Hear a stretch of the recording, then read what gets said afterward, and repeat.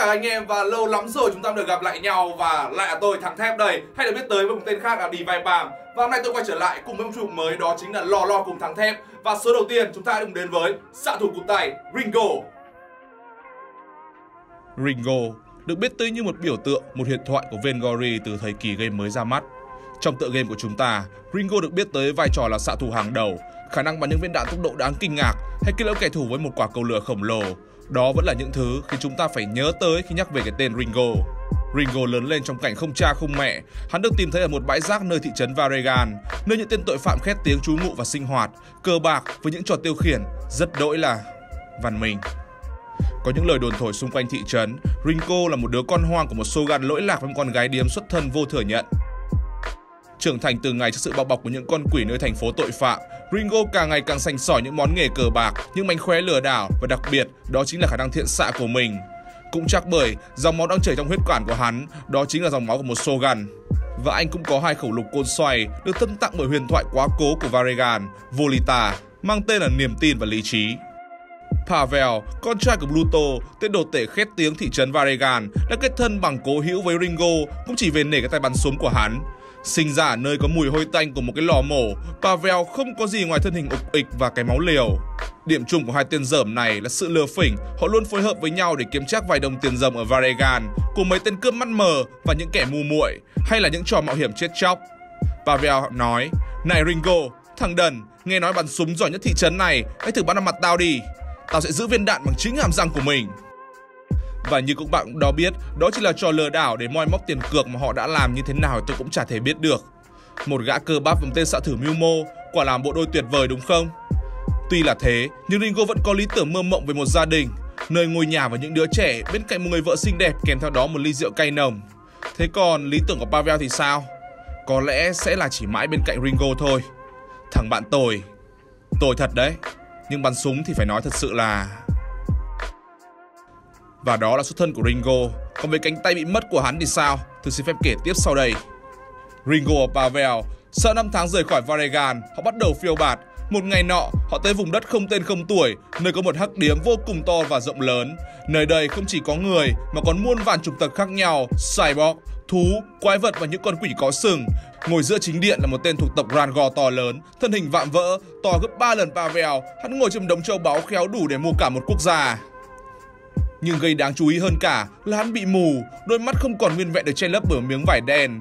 Pavel và Ringo tiến vào bất ngờ, con mèo khổng lồ vạm vỡ quay ra nói Hai thằng nhãi, chúng mày là ai? Và vào đây để làm gì? Pavel hét to Này con mèo mù, nói năng cho cẩn thận Không thằng bạn tao sẽ bắn rơi cái đầu của mày xuống đó Hắn lên ngang chiếc diều khổng lồ để răn mặt Ringo nhẹ nhàng hơn Tôi là Ringo, còn đây là hảo hữu của tôi, Pavel Bọn tôi đến đây để đánh bạc Hắn cười to Ringo? Ringo Varegan?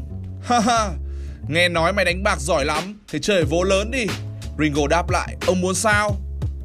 Tao muốn cái mạng của thằng bạn mày, và đổi lại nếu mày thắng, tài sản của tao sẽ là của mày. Pavel khoái chí mà quên mất mình chính là cái giá mà con mèo kia đang đưa ra. Hắn nói, chơi đi haha, con mèo ngu.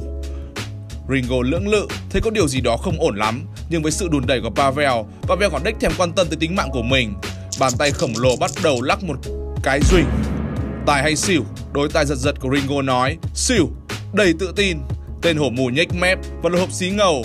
Ba viên đều hiện ba mặt tứ Ringo vã mồ hôi không tỉa mắt mình Hét to Tại sao? Như một cỗ xe tăng gắn tên lửa Hắn phi tốc độ đáng sợ phía ba vèo. Nói Luật là luật. Và cái đầu Pavel rơi xuống, Ringo rút súng ra bắn liên tục về phía tên Van Go đầy hận thù. Và thứ duy nhất là tiếng leng keng, viên đạn va vào chiếc dìu lớn. Con mèo mù khổng lồ đáp lại, Mày muốn chơi lại không Ringo? Ringo nói, đồ khốn. Hắn gầm gừ nói lại, có đánh mày không thắng được tao đâu. Hay là giờ tao cực mạng của tao và tất cả đồng châu báu này lấy một cánh tay của mày thì sao nhỉ? Xạ thủ số 1 Varegan. Ringo hét to, được thằng khốn, tao sẽ bắn nát sọ mày. Và tiếp tục tiếng rúc rắc hộp xíu ngầu reo lên. Lần này các bạn nghĩ sao? Đúng rồi, Ringo lại thua và có vẻ như hắn cũng biết trước điều này, chủ động giữ khoảng cách với tên trùm. Dragon gò những chiếc dìu lên và nói Này thằng hèn, mày nghĩ khoảng cách đó sẽ khiến mày đủ an toàn với dìu phản lực của tao sao? Ngủ ngốc thật, tao đã trướng tai về những giai thoại của mày tại Varegan Và hôm nay mày bước xác tới đây thì thật sự đúng là may mắn cho tao Ringo bắt đầu xoay hầu lục của mình và chưa kịp phát ra tiếng đạn đầu tiên, một tiếng rest Cánh tay trái rơi xuống cùng với đó là khẩu súng niềm tin của hắn. Lên chiếc diều quay đi, hắn để lại một lời nhắn. Lý trí và niềm tin, đúng là tiêu khiển, tên mọi mơ mộng, cút đi.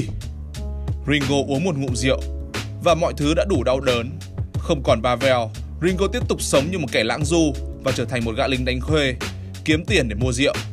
Không còn niềm tin, lý trí là thứ duy nhất giúp hắn sống tiếp. Nhưng với một tay, Ringo vẫn sẽ và mãi ở nỗi khiếp sợ, nhất xạ bách tâm của một xạ thủ hàng đầu. Và vừa rồi chúng ta đã kết thúc số đầu tiên của Raw cùng thắng thép và phải tạm biệt anh chàng Ringo xạ thủ của tay chúng ta ngày hôm nay rồi. Và nếu thấy video này hay, thì hãy like và subscribe cho kênh Ganh TV của chúng tôi và bật mí cho bạn luôn. Số tiếp theo sẽ chính là kẻ đã cướp đi cánh tay của Ringo.